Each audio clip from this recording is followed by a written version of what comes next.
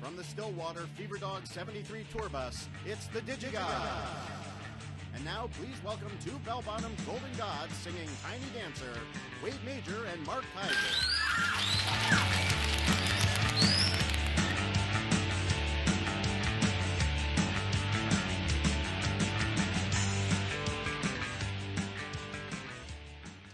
Like Tiny Dancer. Uh, Corey, who uh, who sent that one in for us, please? That was sent in by Mario Mendez, who is by now almost famous. See what I did? Aw, that was a. See what he did? He called back. Wade, movie. Wade, Yeah. Welcome back, Mark. you know what I'm doing right now instead of paying attention to what you're saying? I invented a hashtag for you. It was hashtag Loverboy. What? Yeah. No Based- one, no one based- used it. Based on what? The fact that you know you're you're romancing on both sides of the Atlantic. You're a lover boy. It is true. I was in Paris last uh, uh, uh, three weeks ago. No, I was in Paris four weeks ago, Whenever it was, yeah. and my girlfriend was in was here two weeks yeah, ago, Yeah. and uh, she's not voting for Le Pen. Putting it out there. Um. Anyway, how uh, so? How uh, how how have you been? Well, Paris I good. think the, the, Paris the- is great. You know what? thing? Yeah. Paris is the best. It is, isn't it? I really would like to move there. If I get a job, I would move there. You know. Uh, I mean, I wouldn't sell my home and give up everything I own and go to Paris, but if I got a job, I'd go. And speaking of, after uh, after all the uh, making fun of me about uh, Colcoa, this and that, and so forth, who's on the Colcoa jury this year? Happy me. That's right. No, here's the thing. So, it's fun, isn't it? so Wade has been on the um, the jury of the City of Light, City of Angels Film Festival, a, a- and it's funny. It's an exclusively French film festival, hmm but this year there's two Italian films. Well, they started. It started getting more international last year already, and uh, it's. It, I think it just speaks to the way the French film industry. More foreign directors are making French films. More French films are being shot in other countries. You know, Mustang, Dheepan. They they're dealing with issues that are relative to other cultures. As as France becomes a much more international hub, you know. So, I mean, I just think that's the natural evolution of French cinema. So I, I talked to the uh, uh, the program director, right? Yeah. Francois. Francois. And I said, look, I would like to do it. I would love to do it. First of all, because it would be fun. hmm Second of all, because as a guy with a French girlfriend who's trying to move to France, it would be like a little thing. It's another little notch in my uh, my French bedpost, right? To be able to talk to French people, maybe French employers, French Yeah. film people. Hey, I was on a film jury for a Colco. Oh yeah, Yeah. French. Oh you. So they would they would understand that I, I I like France. I get France. Whatever. Yeah. But I had to let him know that. I mean, it's thirty films in two weeks. Yeah. And I, I, I mean, can I not see a film? Can I not show up to the festival? Like, what's the minimum I can do to be an effective juror? And and it is it is as you are finding out the jury is kind of an organism you know? You you talk to other jurors people will watch a movie and go oh this was a terrible movie. Or you even talk to people just in advance and you will get a sense that at least half of those 30 films w- don't have a shot in hell of getting a consensus from your jury. Well, so you may as well just excise half of them right out of the gate. Well, Francois was nice enough to give us, I think, four films that he's like, these will never win ever in the entire world. Don't Yeah. even bother. Yeah. Including Raid Special Unit, yeah that horrible Dany Boon film. which i didn't dislike i, I actually i mean it's one of his lesser films uh, and and that woman was terrible. Where did he get it? He, he, he must be sleeping with her because he's te- she's terrible. she she uh, I think she's a bit of a thing in France at the moment. Um, but uh, yeah, she's no Melissa McCarthy. That's for Oh my God. They, they, the Fran- French need Melissa McCarthy. They do. So I've watched um, probably 25 films. I've got Yeah. another couple. I, I, I'm actually coming in for a landing. I think I'm by tomorrow. I think I will have watched everything. And then Monday we get we're going to get together Yeah. at some Persian restaurant in Westwood, Yep. which is equidistant between the folks who live in Santa Monica and the jury members who live in in the valley. We'll get together in some Persian restaurant and in Westwood, which is the town where UCLA Yeah. is. In Westwood, there's a strip of per- very good Persian restaurants. It's it's uh, yeah, it's Little Persia. So great. we'll meet meet at one of those and then just do whatever Bob Kohler wants. You realize my daughter's favorite food is Persian food. Like she asks for it every week. You go here. What are you hungry for? Persian food. Four year old asking for Persian food. and you give it to her, don't you? Yeah, absolutely. We go to Daria and I and I grab some uh, some juicy chicken. Carnival. Juicy chicken. No, Carnival is is Lebanese. She loves that too. She loves that too. Anything from the Fertile Crescent general area, Middle East, she loves. She's like her parents. She loves Middle Eastern food. So we've I, I've seen uh, one or two really uh, terrific films, a lot of blah, and a couple of bad ones. Yeah, and and uh, I know you loved uh, a, a woman's story. Uh, I I- think a woman's life is, is going to win. A woman's life, yes. A, Woman's a Life. wo- woman's life's going to win. I, uh, Bob loves it. I love it. Stéphane Brizé, who wrote and directed, of course, did Mademoiselle Chambon and A Few Hours of Spring, and uh, the uh, you know the, the last Vincent Lindon film that won him Best Actor at Cannes, and you know, he worked with Vincent Lindon three times in a row. Uh, Brizé is amazing, and he, and I uh, he, he- had two events. I, I moderated. He's honestly he's been on three events at Colcoa this week. I moderated two of them. Lael, who was on Film Week with me yesterday, moderated the uh, uh, Woman's uh, Life event, and he's just delightful. He is. I I did a. Um, you know, they screened his second film, which is also beautiful, and we did a whole hour after that, and the audience just loved him. He's just, he's so charming. He's so incredibly charming. There's a um, there might be a ground. Did, did you Hmm. watch Slack Bay, the Bruno Dumont movie? Yes, I watched Slack Bay. I had to talk about that on So- Film Week yesterday too. So Slack Bay is essentially if if Monty Python made a made a Tati film, Yeah, it would be Slack Bay. yeah. I didn't like it. You know why? No one likes it. Because after like an hour and forty five minutes, you're like, I get it. You're weird. I get it. Okay, move on. Well, that's the thing with Bruno Dumont. You know, Bruno.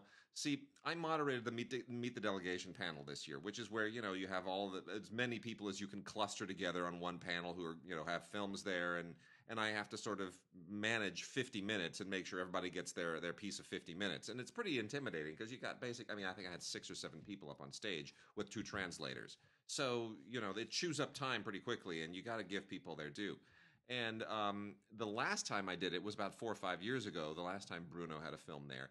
And my first question Bruno used to insult everyone else on the panel. Now, the translator, Robin, was at the other end, and she and I looked at each other and looked at the French speakers in the front row with this look of panic like, what do we do? This is going south fast. And Robin somehow. She translated gold and took all the venom out of it. Wait, so and- what, what, what did the guy say? Oh, he's something to the effect of, you know, uh, it's, uh, you know, when you're the only person up on this stage who's a real artist. It was something to, something like that. It was sort of like was he being cheeky or funny? Or was he trying to Bruno be just? is a- Bruno is Bruno. He just that's who he is. And this week, and I agreed to do it again because I thought, well, I haven't done it for a few years. I think I got that out of my system. And then I found out Bruno was on the panel again. I thought, oh no, here we go again. And you know, he was on he was on his best behavior this year. He sat there and he did he kind of brooded a little bit, but you know, Claude Lelouch was there, and he, he's very self-effacing, and everybody else, including Brizé and the other filmmakers, they were all just saying, "Well, we wouldn't be here if not for Lelouch." And they were sort of laying wreaths at his feet, and he was all sort of embarrassed, and you know, it was so it was a big Lelouch love session, and Bruno just kind of sat there very broodingly and dealt with it, and uh, then, then he said a nice thing about Lelouch himself, so that was all good. Lelouch, who has a film at the festival. Yeah, Lelouch It's, is. it's fun, man. I like his film. I do too. Well, we wouldn't give it anything, but Yeah. we like it. it, it, it's a it's a fun film. So anyway, open at night, Mr. and Mrs. Adelman Yeah. stuff. Maybe you've heard of. So, Mark, before we get on with the show, I'm having a breakfast crisis. Gods at digigods.com. Email us your suggestions, gods at digigods.com. I'm having a midlife breakfast crisis. So, I'm not going to have cereal anymore because it's too caloric and sugary and processed. Um, you know, waffles to too carby to have every single day. Same with pancakes. I gain weight if I do that. Don't want to do that. Um, uh, you know, bacon and sausages. I don't. I don't eat beef or pork, so there's none of that unless it's turkey based, and I, that will get tiresome very quickly. And uh, there's really, I mean, you know, uh, there's really nothing else. The eggs. I love eggs, but I can't have eggs every day. So I don't know what to have for breakfast anymore. You know what Severine does when she's here? Huh? Is what she does. In fact, you're seeing it a little bit. Yeah. Bread Yeah. with some butter. Yeah. Honey on top. Yeah. Tea. Some kind of fruit. The end. It's not a bad idea. I think I'll, I, I, I might do that. I, I made some uh, crepes the other day. I didn't do them as well as I think Severine does them, but uh, I was quite happy with how I, I did them. But do you have a crepe pan from. France?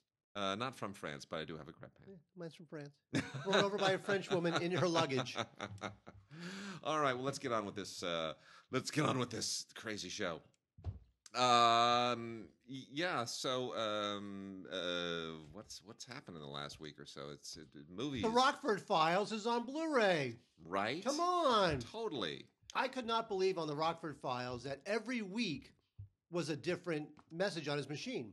Yeah. By the way, when the show started, like ten minutes ago, Yeah. w- w- uh, before we spend ten minutes Yeah. talking about crap that Yeah. the listener doesn't care about, Yeah. I was on Amazon Yeah. buying, pre-ordering Blu-ray Heat. Yeah. A Warner film that's coming out from Fox now because of all that weird Regency rights stuff. It's Which, by the way, you probably have and are not going to give me. no, I haven't gotten it yet. I'm going to buy gotten it.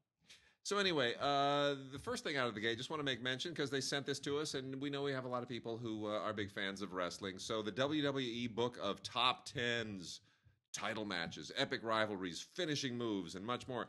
This is kind of an excuse just to throw a lot of uh, wrestling stuff into a, a, a, a semi-soft cover book.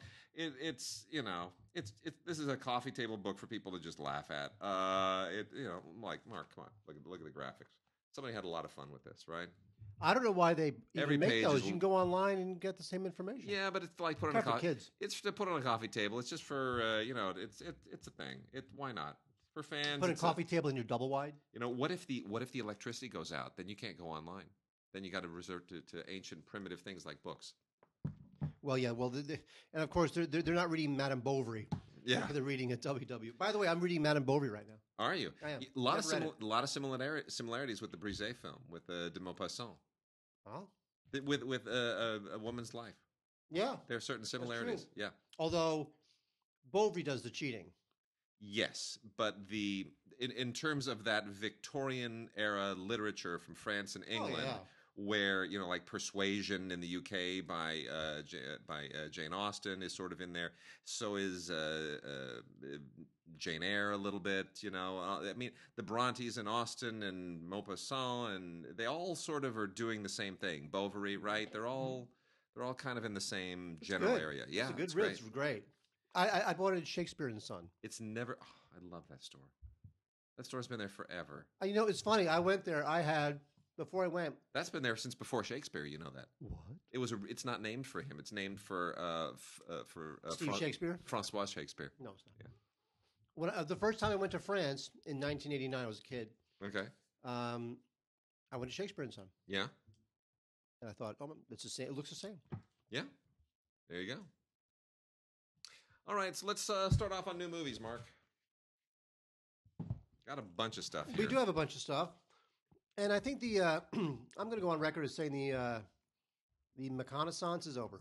the what? Mis- oh yeah, it is the McConaissance. Is that what they were calling it? Yes, because he came from nowhere. He was like All a right. he was like a douchebag for All right. years, and now suddenly he's uh, he's a man.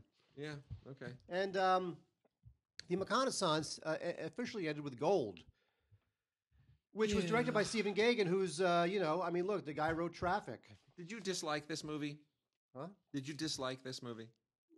Kind of, because I think he's, I think McConaughey. You know what it is? The problem is that See, I, I, was didn't- looking, I was looking at him like a like like an actor again, Yeah. worth admiring. Yeah. And then over the course of this movie, mainly because he's like bald for half of it, Yeah.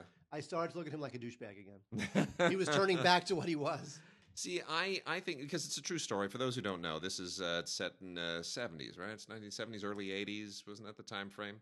So it's uh, it's the story of a a mining scandal, and I know you think, oh, great mining scandal, but it's uh, it's a really interesting um, bit of history. And Matthew McConaughey plays this guy who's basically like a modern day prospector. He's always working the deals on you know this mine of that you know, this ore or something or other. And gold, of course, is the grail, but you know it doesn't have to be gold. It could be copper. It could be you know anything.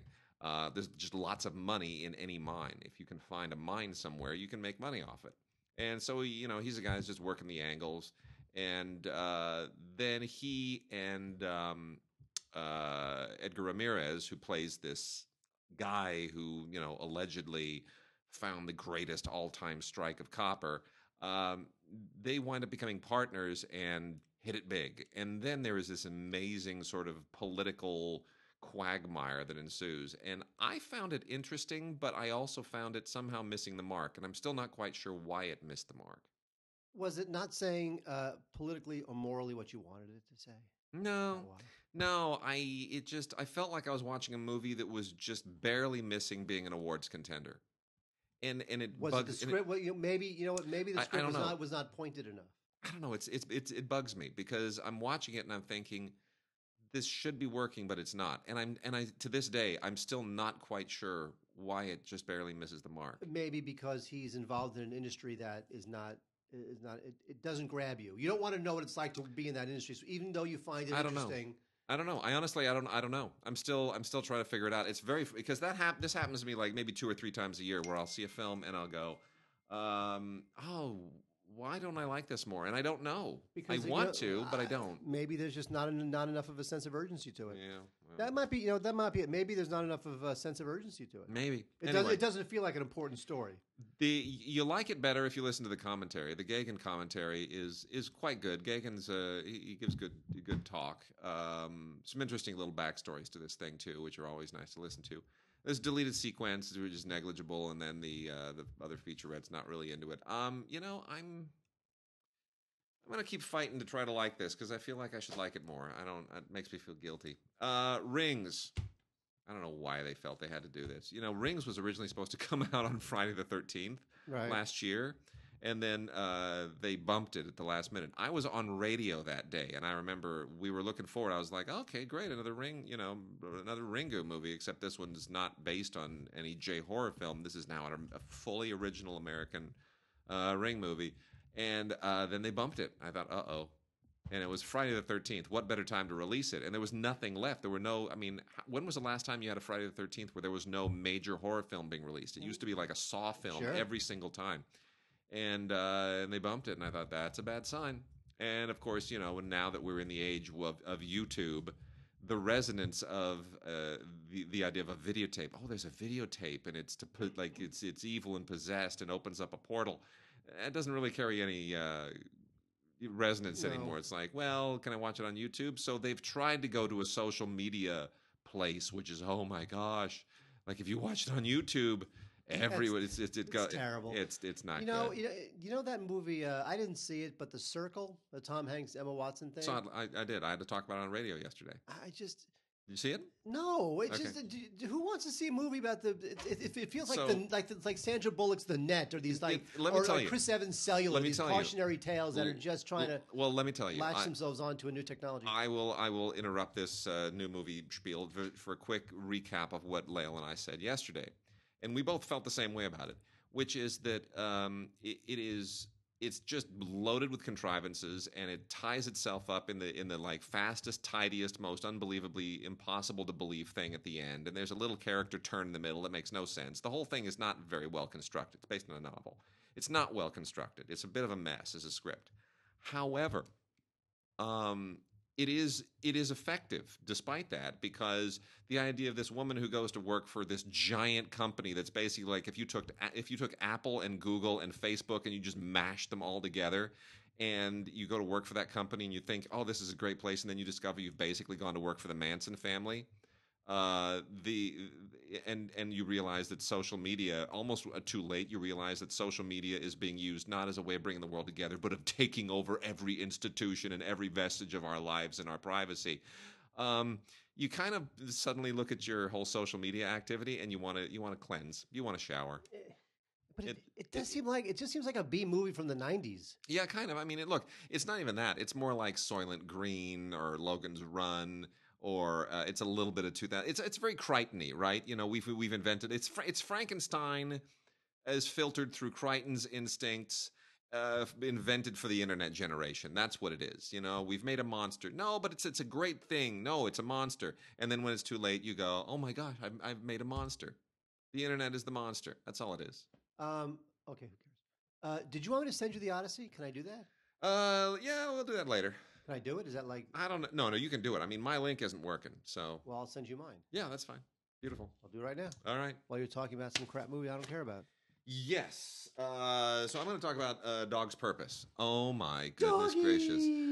Ah, Dog's Purpose. Oh, this So- one had some. This this one ran into some problems. Oh, did it ever? You know, so Lasse Hallstrom became a big deal because he made an amazing Swedish film called My Life as a Dog. And then he had a great Hollywood career and he got nominated for an Oscar a few times and some Best Picture nominees. And then everything went south. And he is now straight to video schmaltzy man. And he made A Dog's Purpose, which is so far from My Life as a Dog because My Life as a Dog is not really about a dog, it's about a kid. Dog's Purpose is literally about a dog. Doggy. It's not just about a dog. It's about a dog who reincarnates as other dogs every time he dies. And every time he dies, he reincarnates as a new dog with a new owner. And you go through these episodes until, oh, he comes back around to his original owner, who was a really good kid originally. And when that kid grows up, he grows up to be Dennis Quaid, and it gets all pointing and weepy at the end. Spoiler I- alert. well, but everybody knows this. I love seen- Britt Robertson. Britt Robertson is great. and she is wonderful. And uh, the thing is that this movie just doesn't hang together because some of the episodes are shorter than others, some are more conclusive than others, some are more meaningful than others.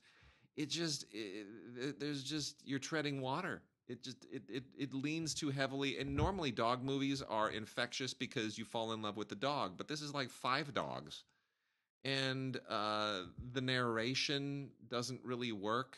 Uh, you know, the, because that's the one thing that ties it together is that you've you've got uh, uh, Josh Gad doing the narration, and I can't I can't fall in love with Josh Gad's voice, you know, because he's LeFou. So it's just Your problem is you hate Christmas.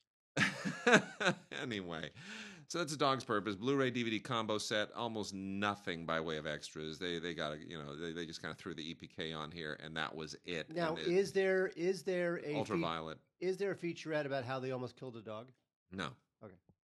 Read about it if you didn't know about it. yeah, Killed that's that was the uh, that was the thing. The Dog the trainer who you know tried to shove the dog back in the water and. It got it, and then look, I yes, that hurt the film for a moment, but it it was never going to do. It was never going to perform. I think if anything, that controversy may have boosted its opening weekend numbers a little and hurt its long term numbers. So I think it was a wash. Um, a couple other lame ones here. I'm going to get out of the way real quickly. The autopsy of Jane Doe. Uh, I this is an IFC midnight film. Almost all it takes place entirely in a um, in this really spooky, haunty, creepy coroner's office uh, where you are basically sentenced to to sit for the longest time with Brian Cox and Emile Hirsch. Brian Cox and Emile Hirsch, father and son, uh, coroners, doing a This movie's not bad. It's actually more effective than you would think. It's more effective than you would think, but it, it, it wasn't great. I mean, you know, it, it directed by uh, André Øvredal, uh, who wanted this. It was a, a Norwegian director, I believe, and uh, wanted uh, a horror film for his American English language debut. And uh, this was what they chose, I guess, because it was low budget. But the idea that there's like this creepy gothic uh you know coroner's office and it, it, it just uh, you know out in the way back behind their house in the middle of nowhere where it's impossible to get to. It just it's sort of like the the haunted house contrivance except with the, with a uh, a morgue or a uh, not a morgue but you know the coroner's office. Anyway it um the idea is that they've got this woman her body was unearthed in this uh, in this one building and it's like she was you know nothing has nothing has happened. There's no indication of foul play with her body and so they perform an autopsy on her and she's just a jane doe. But of course there's a history to this woman and to this body and that opens up this whole kind of spooky supernatural past. And uh, you know ne- next thing you know bodies are coming alive and all kinds of hell is breaking loose literally. And uh you know whatever. I i mean it's it's got its spooky scares, but I the whole premise is just so ridiculous, and it's so contrived to just be in one place. And I've seen too many of those horror films lately, where they're just, oh, you know what, we have a we have an old and abandoned warehouse. Can we can we think up some crap idea that so we can shoot the whole thing in a warehouse? okay, fine. And then Monster Trucks on Blu-ray, Blu-ray, DVD, and uh, Ultraviolet combo set. Uh, this is truly horrendous. Uh, I I just this is awful. Um, did you did you see this, Mark? No, because it looked terrible. It looks It- like a big dud. But look how they packaged it. Oh my gosh, it's awful. They packaged it like it's a, you know, like a, it's like it's Big Trouble Little China or something. Yeah, no, this is this is really absolutely terrible. Uh, this is a truly terrible movie. I, I guess they aimed this at kids or something. They thought that this would be like a little boy's version. Rob Lowe's in this, by the way. I don't know why. I guess they threw a lot of money at him, boat payments. I don't know. Maybe they thought this would be like a little boy's version of the Fast and the Furious, but it's not. It's just terrible. So I, uh, you know, bunch of special features on here, but again, it's mostly EPK stuff. I wouldn't waste my time. Uh, Wade, uh, the, the uh, uh, De Niro Remember when we used to love De Niro? Yeah, why is he doing stuff like this? I don't know. And, and you know, and every time De Niro does something like the comedian, you think maybe he's onto something. Maybe this is the one time where he's actually going to do something we care about. Yeah, no. And it turns out to be just another De Niro. I guess he's got. I.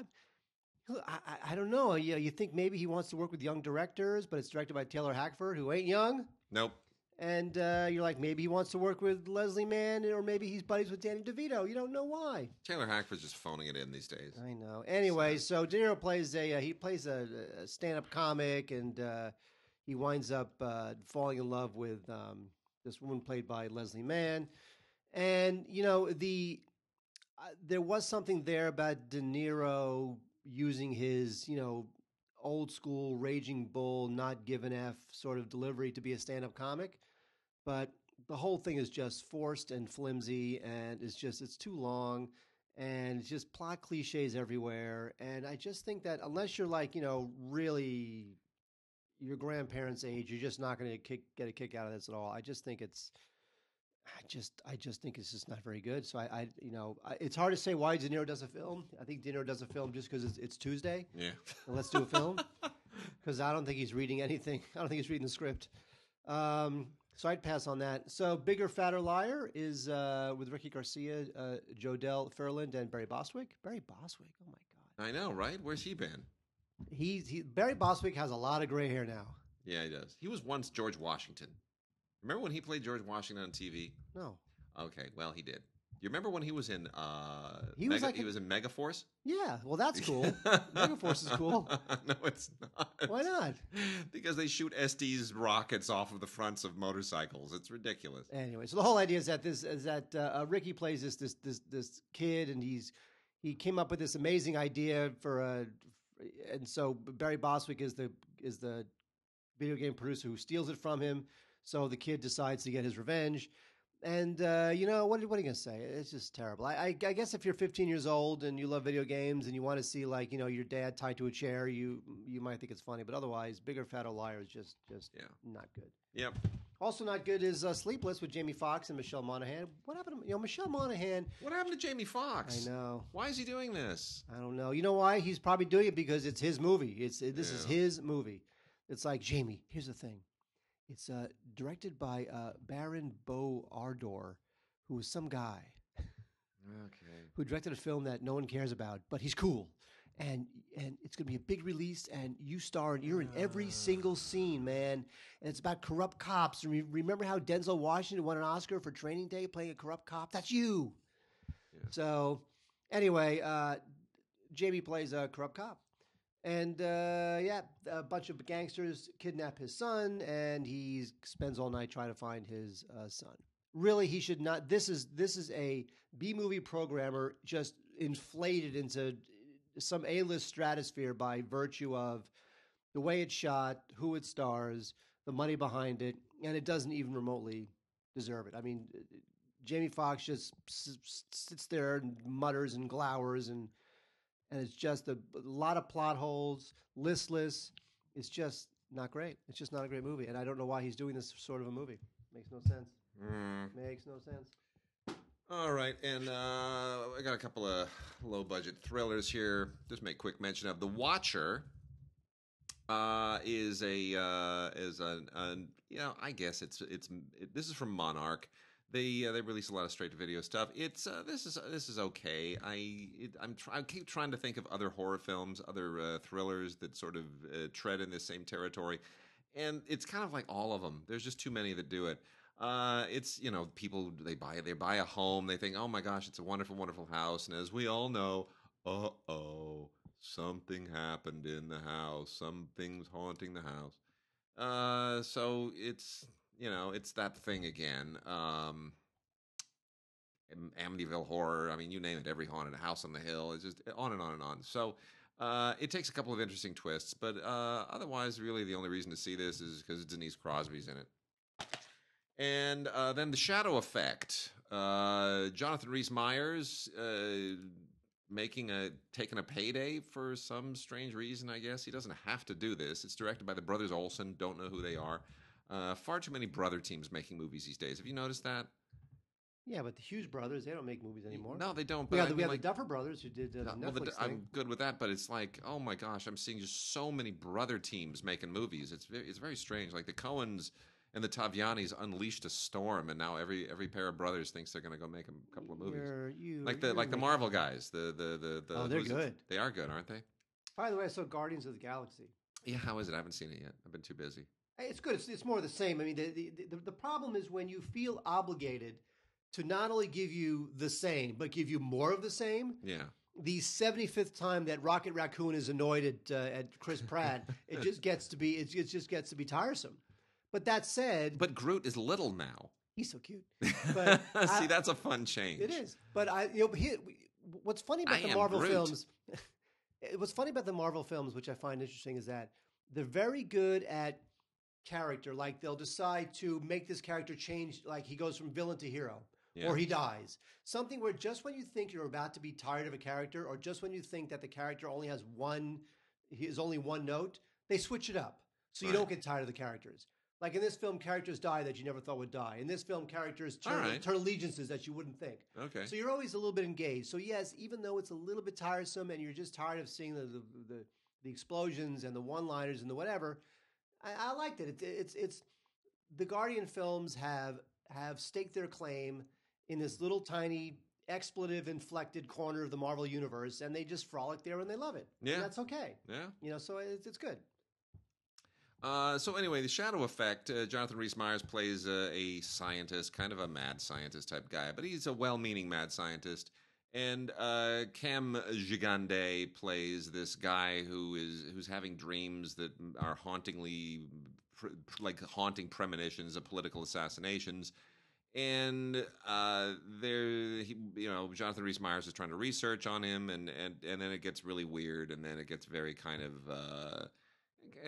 Mixes up Frankenstein. We got a lot of that this week. Mixes up Frankenstein a little bit with uh, the uh, uh, the um, Are you you're looking at me? no with with the uh, the What? Manchurian Candidate. Okay. Thank you. So anyway, uh, yeah, it, do- it's it's a little bit uh, too high concept for its own good. It's trying a little bit too hard. Michael Biehn is in this as well. He he and his wife just do all kinds of junk these days. Anyway, uh, not uh, not much here, but uh, if you you know, it's not terrible. It's just convoluted uh, shadow effect. That and the Watcher. Wade, uh, Resurrection of Gavin Stone is one of those annoying movies that uh, that it's it's a faith based film, but it's one of those faith based films where really the point isn't that the guy uh, you know finds uh, uh, salvation through going back to church and realizing his heathen heathenist ways. That's the way they all go. No, but this guy is an actor. Oh, And he gets 200 hours of community See- service. So he has to realize that Hollywood is a cesspool of, of depravity, and he needs to go back to church to realize a what's real. That's a change because usually they are baseball, football, basketball players or uh, golf golf pros. I mean, this usually is, they're athletes. I mean, this thing is just like, let's spend 90 minutes just proving to you that Hollywood is just a heathenist cauldron and just a pit from hell. And that if you can just find God, everything will be fine. And then Hollywood will go away. Well, there we go. That's So that's uh, what it is. So if you like that kind of crap, then uh, it's for you. Uh, Mind Gamers is um, I, I, I, I, I, I skim this. It's, it's it actually it's, it's a little bit like The Circle, which is um, it's it, it, it, it's a cautionary tale that feels like a, a, a B movie. In the film, there's this new there's this new computer capability where people can actually transfer their their uh, motor skills yeah. and their abilities to other people. Like, like for instance, if you were a great uh, pole vaulter, our minds can link, and then you can make me a great pole vaulter. I can have your motor skills. And so, of course, it's uh, all these motor skills. They are uh, connected via a quantum computer. Oh, So you know it's like a bad episode of Star Trek: The Next Generation because it's a quantum computer. I see. And of course, what happens is that it all goes bad. And then Sam Neill's got to help figure it out Okay. because he's Sam Neill, and we love him. So Mind Gamers is basically this feels like a second tier sci-fi film. A film for I mean a film for Sci-Fi Yeah. Channel, a second tier Sci-Fi Channel film. That's what this feels like to me. Ah, well. And uh, then, very, very last bit here, we've got one from Wolfe, which uh, specializes in uh, LGBT material. And uh, very interestingly, they they are not playing up the uh, the gay angle of this because it is uh, actually quite an interesting crossover drama. Got a lot of you know they, they just don't want it to be marginalized as something specifically for a very very specific audience, and I think that's interesting marketing. But um, I don't think they had to do that. In any case, uh, Counting for Thunder from first time director Philip Irwin Cooper. It's basically, and they cop right to this, it's basically like uh, Terms of Endearment, only with a son instead of a daughter. And uh, Mariette Hartley plays the mom. John Heard is in this as well. Mariette John Heard. John Heard makes everything better. You know that? He's just such He a good does. actor. Cool. It's amazing. He's done this for decades. Um, anyway, Mariette Hartley's the mom, and in this case, the uh, the you know the health crisis, as it were, uh, it hits her, and uh, as opposed to the son. But otherwise, it's a it, you know it pushes a lot of the same buttons, and um, you know Philip Irwin Cooper has some chops. He does well with the actors, and it's a it's a neat little script. So, Counting for Thunder, it's worth paying attention to. All right, Mark. Uh, look at the swag we got this week. We, we well last week. You you weren't here, but I want to show you these sunglasses with eye protection, ultraviolet eye protection. I dare you to wear purple Swan Princess uh, sunglasses. You know, actually, public. that's that that's a problem with sunglasses. Well, because here's what you do: Yeah, you you put on a pair of sunglasses, and you're right. So your Yeah. your your, Sure. your pupils open up, of course. right? Yeah. So if your pupils open up and you don't have UV protection, Right. now like your your sun is your eyes being blasted by Sunburned. By your eyes are being Your like your retina's destroyed. been, yeah. Right? Because sunglasses open your pupils up, so They you do. need that UV protection. The- You So do. the fact that these guys would put UV protection on their glasses Swan Princess sunglasses. means that it could be worth it to wear So- Swan Princess sunglasses. So when you wear your Swan Princess sunglasses in Paris, Mhm. I want you also to take your to put this uh, uh, Fantastic Beasts name tag on your luggage, and you will be the hit of Paris because you are walking over there with film critic swag. You know what? I, I, I never saw this movie. I never saw it. I did Tim, not see Tim and I talked about it. Tim and I talked about it. We spared you, and by the way, we also spared you having to sit here and uh, endure me going a la la land. Oh, it's so wonderful. Oh, because the Blu-ray came out. The Blu-ray came out. By the way, you know Tuesday was La La Land Day in Los Angeles. Did you know that? Yeah, you know what? I, I, Did you was, pay attention to what they did downtown? No, what they do?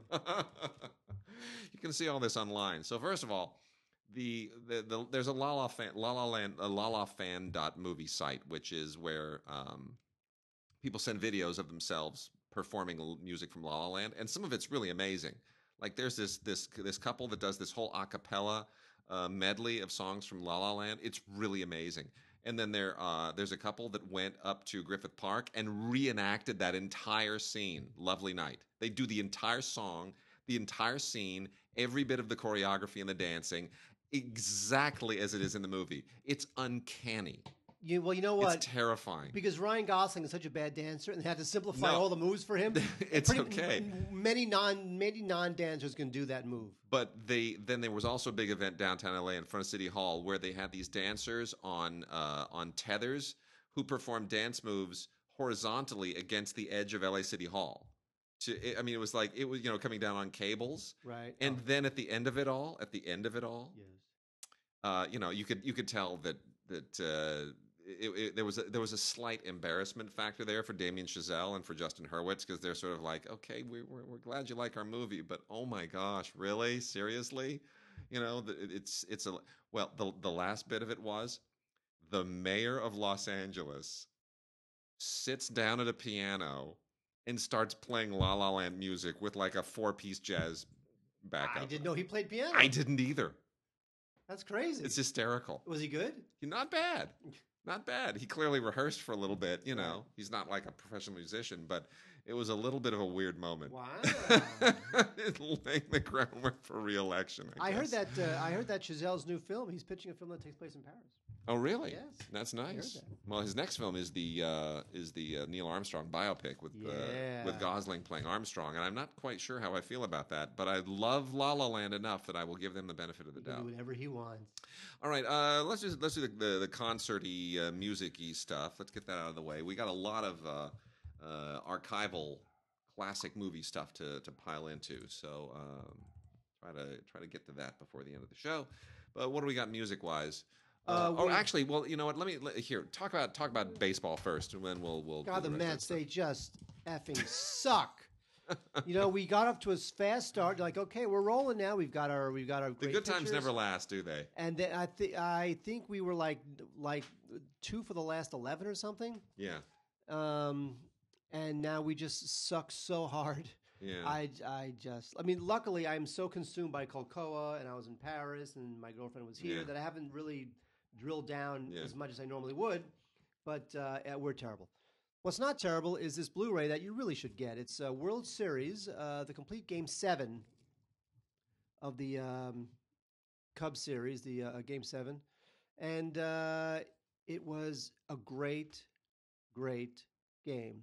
It was one of the best single It World really Series was. games ever. It was so dramatic. I even tuned in at a certain point. I was like, I gotta watch this. It was so dramatic. watch I this. just, it was amazing. Uh, you know, and then they had the rain delay, which made things even even crazier. Like, what's going to happen during the rain delay? Um, so yeah, so this is, and obviously baseball knows that this game was really off the charts. So this is the Cubs and the Indians game seven. The Blu-ray is only this game, and it's two discs. Um, this too is you know highlights from the Cubs throughout the whole postseason, and then uh, footage from the parade.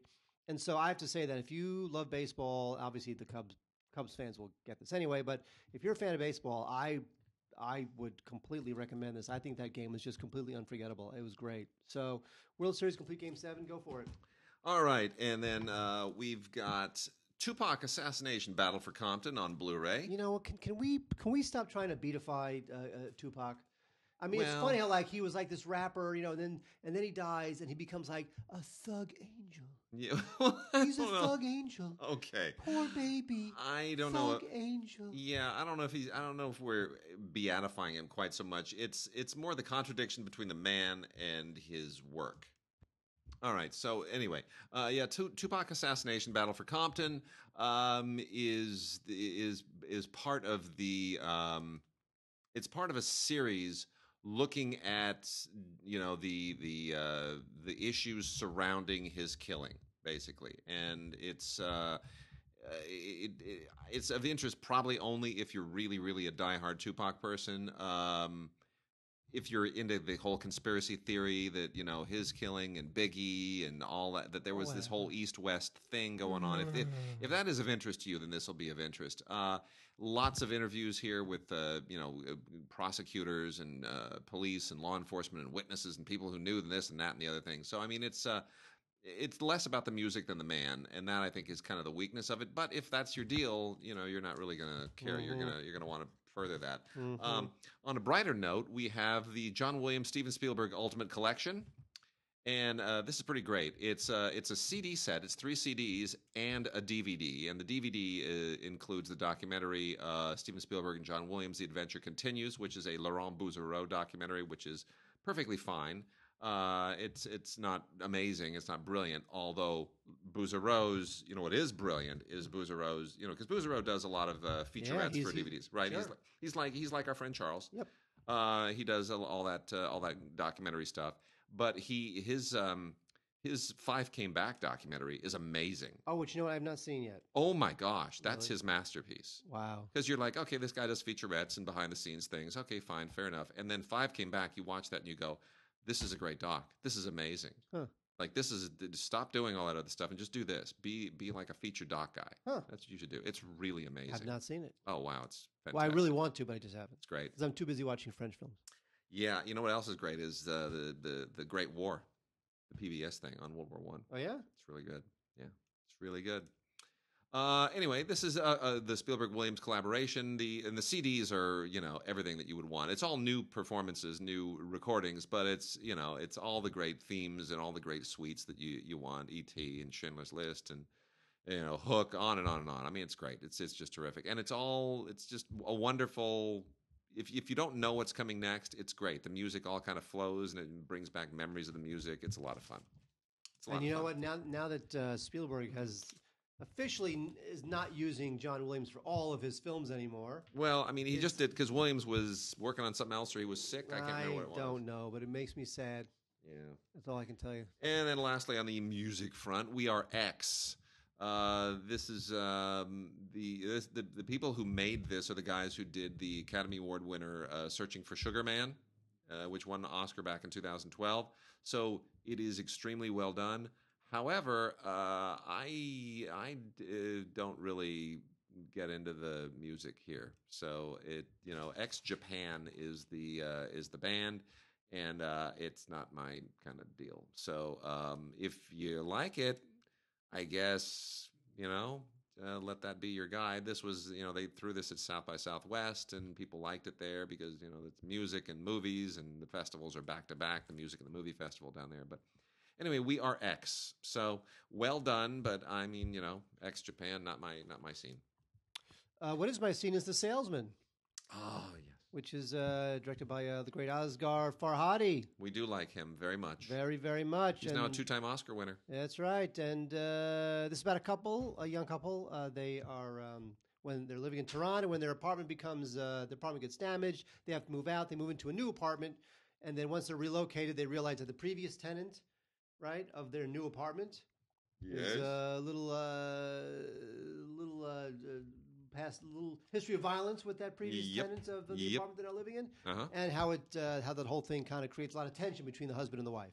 That's all I will tell you because I think this thing is great. I think he is great, and you know the the, the way that he just can. There's like this the way that he combines character and conflict is just great. Like everything is done with character. Like when this a, a little piece of conflict comes, how does it affect the marriage? It's all about how it affects the marriage, how it affects the relationship. It's you know, it's, it's I thought it was just exquisite. It's really good. And, and the thing is that it's ultimately kind of a bit of a suspense thriller, but it's not like you know, it's not like a Death Wish film or anything like that. It's just it's just a, it's a, over it's just very intense, but kind of quiet. It's it's I, I just thought it was great. You know, I just think he uh, I think this guy's just got it, and I can't wait till he comes to America and does a, a, a an, an, an Avengers film. I hope that doesn't happen. And a few other foreign language films this week uh, of worth mentioning is uh, a Korean film called The Tunnel. Actually, just called Tunnel. There's no the on it. Uh, and there are a lot of movies with Tunnel or The Tunnel as their title. Uh, so make sure that if you're going to look this one up, you're this is the Korean one. Um, this is about a guy who uh, a tunnel collapses on him, and kind of in uh, World Trade Center was that the, the that's the Oliver Stone film, kind of in a World Trade Center way, and then you uh, you know the film basically focuses on the uh, the on his survival ordeal and what they're doing to rescue him and so forth and so on. Um, and it's uh, it's claustrophobic, but it's not obviously kind of self-indulgently claustrophobic. It's not like Ryan Reynolds trapped in a coffin or you know uh, any of that. It really actually it, it makes um, it, it works the it works the angle of its conceit uh, in a way that you don't feel like it's gimmicky. So uh, that's Tunnel. And then we also have a Turkish film here, Nasiya, N A C I Y E. I'm sure I didn't pronounce that as the way it's supposed to be pronounced. Um, but anyway, this is a uh, this is a thriller that goes into some kind of uh, creepy horror-ish areas. It's uh, the kind of film you would expect to be an American horror film. Really, uh, you know, it's a it's a couple who go out into the middle of nowhere for this to occupy this uh, this remote rented house uh, because she's pregnant and they want to go somewhere where um, you know the, where the, the the last trimester can sort of be uh, tranquil. Now, if that doesn't sound like a recipe for just oh yeah, let's go let's go move next door to a serial killer for our uh, for the you know so our child can be born. I mean, it just it feels a little bit uh, obvious, but there are people out there who like that kind of stuff. So whatever. It's a Turkish film, which makes it a little even creepier for some reason. And then uh, from Cinema Libre, The Girl from the Brothel uh, is actually quite a good film. This is in English and Khmer. Uh, this is about a uh, photographer, a woman photographer, who goes to Cambodia to um, kind of uh, try to mm, uh, surprise, but also patch things up with her husband. And uh, they, you know, she wants to. They, they have some issues. I won't get into what those issues are, but they they want to do a thing. And anyway, um, the trip to Cambodia doesn't turn out quite as pastoral as she might expect. Uh, things happen, and she has to make some crucial decisions in her life, and yada yada yada, on and on and on. And then Cambodia winds up becoming a um, a metaphor for. I mean, I'm being really circumspect because I don't want to give anything away. Becomes sort of a metaphor for this new journey in her life. So, in any case, uh, the girl from the brothel has some really really powerful stuff in it. Uh, it's um, it, this is this did not get a theatrical release here. It's played all kinds of festivals. It has it's it's a little bit of a difficult sell on a number of levels, but I do recommend it. You know what I recommend? Yeah. Staying alive. Don't die. Stay alive. Now, here's the thing with the Saturday Night Fever director's cut. This is uh, this is the real deal, man. This is a new 4K restoration. John it's not a- Badham. but it's a Blu-ray. It's a 4K restoration, but it's a Blu-ray. yeah, it's Blu-ray. It's, Yeah. not, it's, it's not a 4K Blu-ray, but it's a Yeah. 4K restoration Yeah. completed under the supervision of John Badham. So this is not just uh, your normal uh, blam blam. This is like uh, this might be worth an upgrade, folks. If you don't have Saturday Night Fever, first of all, shame on you. Second of all, Wade's going to give me this. Oh no, no, no! I gotta, I gotta introduce my daughter to uh, some Travolta-ness. So she this hasn't is the, uh, experienced Travolta yet. She's been into Sound of Music last week, so we got to we got to BG it up this week. Now, luckily, um, we have the director's cut and the theatrical cut. So if Yeah. you if you don't really like what Badham did to this thing, uh, you can have the original cut, which is a good thing. There's an audio commentary by Badham on the theatrical version, um, and a bunch of new and old uh, featurettes. If you don't know, ask your parents. But uh, Saturday Night Fever was a complete phenomenon at the time. And I remember, this is the 40th anniversary, by the way. I remember when uh, my father was hanging out with his best friend, who was a real bell bottom disco guy, and he came home with his Saturday Night Fever soundtrack on record, and they played that thing into the ground. Yeah, It was just crazy. So uh, yeah, this is Travolta and uh, Karen Gorney. What happened to her? Uh, wow, wow, Karen Gorney and uh, John Badham directed. John Badham directed a couple of really good films back then. People don't realize. he did War Games and Blue Thunder in the same summer. Yes, The same summer. isn't that crazy? Love. Sweet. Anyway, uh, recommended. And uh, then the last of our uh, well, we're we're now into um, uh, classic movies, and I'm going to blow through some huge ones right here. But the the the last of these kind of one-offs here is uh, from, from Mill Creek, Space Hunter Adventures in the Forbidden Zone on Blu-ray. Not a a 3D Blu-ray, I would point out, even though this movie was released in 3D. So that remains that that is this is directed by Lamont Johnson, who was a big TV director at the time. Don't, not sure why they had him do this. Um, this was kind of one of those uh, Mad Max knockoffs. It was like a sci-fi film on another planet, but it was very Mad Maxy, and uh, took a lot of its cues. You know, here's the thing about Space Hunter Adventures in the Forbidden Zone. When I first got my job as an usher at a theater right out of high school, first year at UCLA, worked at the Mann's National, this is the film that was playing for one more week, the last week of this thing's run before Twilight Zone the movie opened. That's what I endured with Space Hunter. This thing is so hilariously terrible. And the classic bit here is is that early on in the film, where the, you have the model spaceship kind of crash landing thing, if you look in the background, you can see the parking lot where they actually set up the miniature. You can see that on screen. It's pretty awesome. Richard Strauss, by the way, he's the guy you got if you couldn't get Richard Chamberlain. That's true. So if you're doing Uh, a B movie and you can't get Chamberlain, Richard Strauss. And Molly Ringwald was uh, just trying to sort of become a thing at this time, and would go on to a much better career, obviously with uh, with uh, John Hughes movies. But in any case, uh, yeah, Michael Ironside, by the way, plays Overdog. So if you don't recognize the scary, badass, psycho dude who plays the Mad Maxy kind of villain in this thing, yeah, it's it's Michael Ironside. Terrible. Ernie Hudson's in this too, before like pre pre Ghostbusters. It's a lot of fun, There's, there- there- there's this funny and by a lot of fun, I mean not really fun. there's this funny recurring bit in, in, in Guardians of the Galaxy where one of the villains' name is Taserface, right? Yeah. So he always says his name as if like you will feel the wrath of Taserface, and everybody laughs because his name is so stupid, and he doesn't realize it. It's funny. So we got some 4K. We got some 4Ks this week too. Uh, real quickly, uh, 4, 310 to Yuma, the remake with uh, Russell Crowe and Christian Bale, uh, is is out on 4K. I I how did you feel about this? I'm just curious. Oh, I loved it. Did you love Great. this? Yes. I like it, but First of all, it was uh, it was um, is it better than the original? It was Ben. Oh, pff, yes, it was. Ben, it was Okay. First of all, it was Ben Foster's. Uh, it was. It was. It was his coming out party. Yeah, He was great. true. it. He is was also man. I mean, his thing. Mangold had had Copland, Yeah. right? And then he, He hasn't done little- anything since. He was a little bit in the in, in, in the wilderness, right? And then he does three ten a you, and you're like, oh my god, this. Whoa, well, what's he done since? huh? What's he done since? What's- Mangold's done a bunch. He, he does. Uh, uh, um, but I mean, good. What's he done of like, you know, really good? I like Logan. You oh, he did do Logan, didn't he? Yeah, Yeah, I haven't seen good. Logan yet. I haven't It's seen Logan good. yet. Violent as hell, man. That thing is violent. So I take it back. He made Logan. All right. Uh, anyway, three ten to Yuma. I still, I still, uh, I still struggle with this movie a little bit. I'm not sure why. It's got great suspense, but maybe I'm too attached to the original. Anyway, 4K Ultra HD. Uh, heaps and heaps and heaps of stuff on here. Featurettes galore, and an audio commentary with Mangold. And I will say, as a 4K, it's really good looking. The Expendables one and two. I don't know that these really need to be on 4K, but they are now. Uh, and they also have uh, heaps of stuff on here audio commentary with Simon West, uh, audio commentary with Sylvester Stallone. I mean, it's, uh, you know, I, I, I'm affect. I, the third one is terrible. Okay, the third one is just horrendous. Um, I am fond of the Expendables 2 only because Chuck Norris makes one of the all-time great entrances in the history of movies, which is just it just makes the whole thing worthwhile.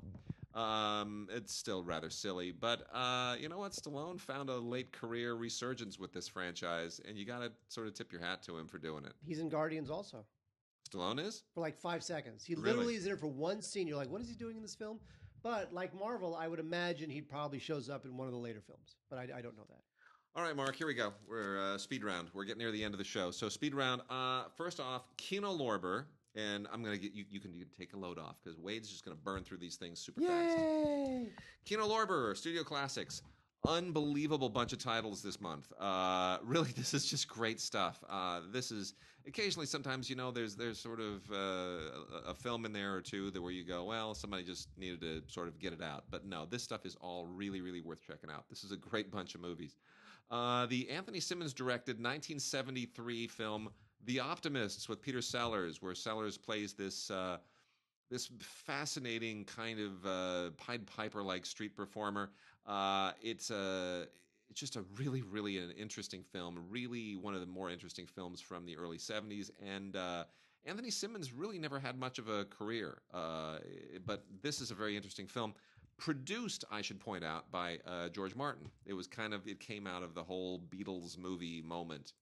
And speaking of Pied Piper, that brings us to a film that has uh, also similar sensibilities from the previous year The Pied Piper uh, from 1972. A delightful film directed by none other than a man who is one of the direct inspira- inspirations for La La Land, Jacques Demy. Uh, and Jacques Demy did the, the- just does a wonderful job with this. Now, there's a, a, an older Pied Piper movie starring Van Johnson, which I grew up with, which is okay. It's fine. Uh, has a certain kind of Hollywood uh, golden era sheen to it, but uh, the Jacques Demy film is way, way better. It really captures the magic of the story of the Pied Piper of Hamelin. Great art direction. Uh, Donald Pleasence is just fantastic in this. Uh, Jack Wild, who had just done uh, Oliver, the Oscar-winning Oliver, a few years earlier, is just uh, incomparable.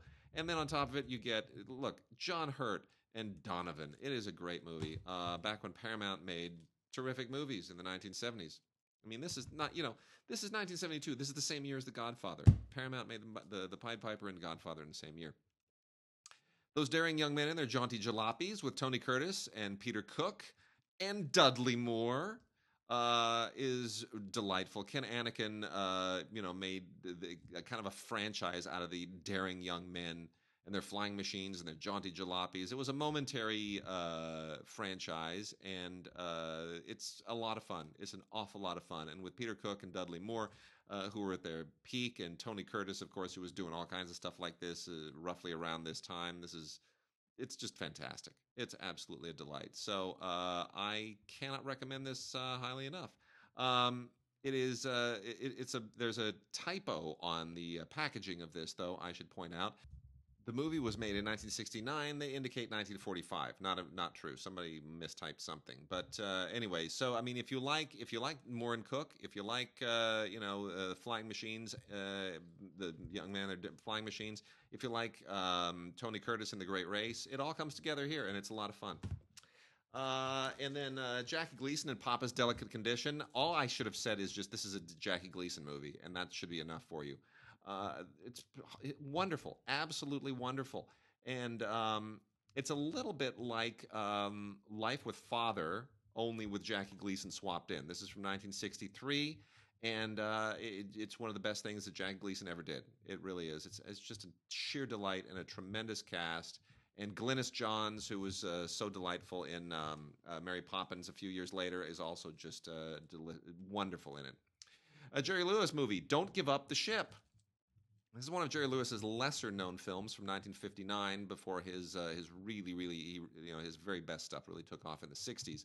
Uh, and uh, but this is great. I mean, it's it's still incredibly funny. Directed by Norman Taurog, who directed a lot of his best stuff. And this is a new master from a 4K scan, and uh, it's great. I mean, the whole thing is uh, you know, there's it's just it kind of just after World War II, and every, there's an investiga- a Senate investigation uh, that Jerry is central to, and uh, it's you know he's on his honeymoon, and it, it, just gets wacky and funny and silly, and uh, you know, you it's just sympathetic. Jerry's the best. Um, one of the first movies I ever saw on television is this movie, James Stewart in Broken Arrow. You ever seen Broken Arrow? If I have, I don't remember. It's it's really actually I remember it so well just because uh, you know it it captivated me when I was I don't know four years old. I must have been four watching television. Uh, but it's a it's you know when they would show westerns like Saturday afternoons. This is from 1950, and uh, it's it's just one of those great Jimmy Stewart westerns. Uh, you know he's uh, he's just right after the war, the Civil War, a few years after the Civil War, and he's fighting Apaches and uh, you know, it just it hits all of those those great Western archetypes from that era. So this is uh, and it's a good looking uh, Blu-ray as well, Broken Arrow. And then lastly, Ernest Hemingway's Farewell to Arms, with Rock Hudson and Jennifer Jones and uh, Vittorio De Sica in a rare acting role, the uh, great director. This was a Selznick production from 1957 and uh, it still is one of the best adaptations ever of an Ernest Hemingway novel. Uh, it's been on DVD and various public domain versions for years, and this is finally an authorized Blu-ray of it, and it really, really does look very, very good.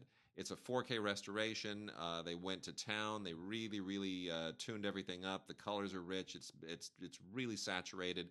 And uh, Charles Vidor, uh, not to be confused with King Vidor, does a, an outstanding job, really kind of maintaining the story, but giving it a classic Hollywood golden era sheen. So that's terrific. That's all we have from the Kino Lorber Studio Classics. And then we have from uh, Twilight Time, Mark. We've got some Twilight Time. Yeah, we like them. Love Twilight Time as well. You can go to twilighttimemovies.com to find these. Uh, we've got The Fortune Cookie, Jack Lemmon, Walter Matthau, Billy Wilder. Love it. It's great, isn't it? How can you not? How can you not? What I a mean, great pickup for Twilight. Time. Oh, fantastic. Uh, I, I just this is one of the the better Billy Wilder, uh, Izzy Diamond movies from their collaboration. Uh, it's, it's, just it's a little overlooked actually, because when you think of It them, is. you think of other well, you, films. You think yeah, of you think of Some uh, Like It, uh, Some Like It Hot, Hot, yeah. right? But this to me is every bit the equal of Some Like It Hot. I I really think it's a this is a great movie. Um, it just it came at a time uh, when Billy Wilder was sort of not so much a thing anymore, right? Late '60s, 1966, we're sort of moving away from the Billy Wilder moment, and uh, he comes back and does it. and he comes back and does it. Does a beautiful job. Uh, you know, Jack Lemmon's a TV cameraman who uh, is uh, who who suffers a certain injury, and then there's this whole um, insurance scam that happens, and it's uh, it's really great. It's just really really great. If you haven't seen it, you need to see this. You need to add this to your your Billy Wilder compendium. Uh, and then, of course, Twilight Time has been doing a, a lot of work with the uh, the old Woody Allen catalog, and uh, here's one of his uh, better dramas, Another Woman, which is I think I think this ages really really well. Uh, the cast is so amazing, and now that some of these people aren't really in movies anymore, you kind of look back on this and you go, "Wow, what, I wish those people would make a movie again." Uh, I mean, here here's your cast, okay? Martha Plimpton. That's as bad as it gets. Sandy Dennis, Oh, Blythe Danner, oh, Mia Farrow, oh, Gene Hackman, Ian Holm, oh, John Houseman, oh. Gena Rowlands. Come on. Well, that's because people would do anything to work with Woody. Any, That's amazing. work with Woody. That's an amazing cast. Of course it is. It's an amazing cast. That alone, uh, isolated music track as they have on all of these uh, these Twilight Time titles is is also wonderful. Um, this is another film that is often overlooked, which I just absolutely adore. Directed by William Wyler, How to Steal a Million. Peter O'Toole, Audrey Hepburn, William Wyler. I shouldn't have to say anything else. That is just absolutely fantastic. That Look, look how look at Peter O'Toole. right, He's young, so handsome and rakish. Oh, so awesome. Uh, this is a wonderful comedy. This is from 1966, just on the cusp of William Wyler going and doing Funny Girl with uh, Barbra Streisand, and you can tell that he's sort of exercising those same muscles. He's getting into he's getting into a different vein. You know, Wyler was always a guy who I mean, he made a lot of different kinds of movies, but you look back, it's like Ben Hur and Detective Story and The Best Years of Our Lives. I mean, Mrs. Miniver, heavier movies, right? It- it- typically heavier movies. He's getting into a really, he's getting the 60s thing. He's getting into that frothy 60s moment. And um, it's just wonderful. It's really, really wonderful. And Hugh Griffith, who he directed to an Oscar, and Ben Hur is in this as well, plays a, a forger, who uh, the father of uh, Audrey Hepburn. It's really, it's a lot of fun. It's it's just a delightful movie. How to Steal a Million. And then uh, lastly, from Twilight Time, You'll Never Be Rich, which is also sheer and complete and utter and total delight. Fred Astaire and Rita Hayworth. Uh, it's Hollywood golden era magic. Isolated music and effects track and a trailer are the only extras on here, but this is just 1940s filmmaking with uh, no equal. Fantastic Cole Porter music. Uh, just beautifully done, classic studio era machine factory stuff. It's uh, the the dialogue is snappy. Uh, it's just wonderful. It's absolutely wonderful. You, you know, if you want, if you just want to see these two stars at their very best, you'll never get rich. And uh, I, of course, still have a real affection for Rita Hayworth, just because Oh, she was so hot. there's our family connection. You know, my father knew her. My father taught her, She was hot. and her dad was my father's uh, dancing instructor at his school. So did your father meet uh, Orson Welles? I'm sure he did. Never mentioned it. Never talked about it. I mean, he, you know, Laurel and Hardy, yes. Uh, lots of other figures. Never, never. Orson Welles. I'm not sure that my father was really connected to the Hayworths once she was at that stage. Uh, you know, it's more the 1930s when she was a little girl, teenager. That's when my father knew her. So hot. Yeah, yeah. And uh, then I want to wrap things up here. We only, we're, we're over time, so I'll just real quickly. Uh, Mark, how do you feel about Donnie Darko? Uh, you know, I, I, I, I've, I've, um, I've softened on it. Have you? I was one of those guys that like, you know, this thing is just weird. You, will you just please stop being weird and just tell me a story? So from the Arrow Video line, Arrow Video has gone completely over the uh, the edge here. They have given us the Donnie Darko monster big cheese mega set like I've never seen. I have almost never seen a single film get a special treatment like this. This rivals Criterion. This thing is a monster. Uh, this is the Donnie Darko director's cut, the theatrical cut. Uh, The, the movie does not deserve all this. I mean, oh, I mean, this is this is insane. This is a this thing weighs like five pounds. I mean, Richard Kelly. It's a brick. Richard Kelly, as a director, has done nothing since this film. Southland Tales was horrible. Yeah. The box horrible. It's just horrible. I, I, you know what it is. Eh, The only thing I'll say about Donnie Darko is that it's i as as weird as it is. It's nice to see, I guess, a young filmmaker just take a huge, huge shot like that, Yeah. right? Which was was a little unusual for the time. Nowadays, you know, everybody kind of it's a little bit more cool to do that. Um, but I guess I'd rather have him try and fail than not try. So It is. I'll say this: uh, independent of Richard Kelly, who I have very mixed feelings about, I think this is the best work Steven Poster has ever done as a cinematographer. I'm very partial to Steven Poster because we sat with him once during a LAFCA dinner, and he and my wife just had, you know, because she was doing a lot of post production supervision at the time, and they had all kinds of chats about this and that and the other thing. He's a wonderful man. And I think he just kills it. This is an amazing job of cinematography by any measure. He is one of the best, and this proves it. But I, you know, you really have to love this movie to get this brick. Uh, this thing has so many special features on it, so many extras. If you watch the movie and then the director's cut, I mean, if you watch every cut of this film and then all the extras, uh, it- it'll be like, it'll be like, we'll, we'll have, it'll be President Ivanka Trump by the time that that you're done with it. So it's just it is this thing is i mean this is strictly fan stuff. And uh, that's uh, that is quite a number from arrow. So they really uh, they did a number with that. In any case. All right so that's it. That's it for this week. Uh, we will be back next week with more fun and frolic. And mark uh, we st- we've never had a sign off have we? Never had a we sign just, we, you, you just press spacebar on your laptop and then the show is over. All right, there we go.